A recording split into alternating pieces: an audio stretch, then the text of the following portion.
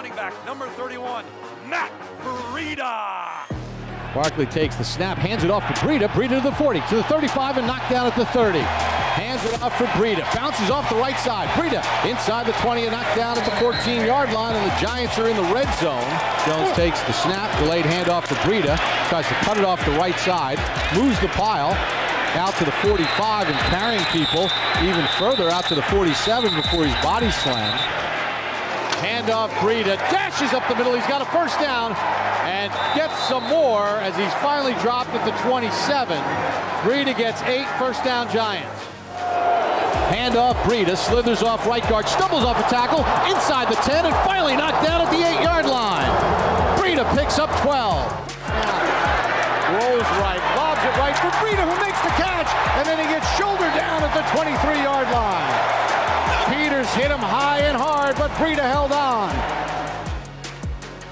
Handoff right for Breida, runs out of one tackle. Breida gets to midfield, still going. He's to the 40, and finally knocked down at the Colts 35-yard line. Jones takes the snap, gives it for Breida, up the middle and in for the touchdown.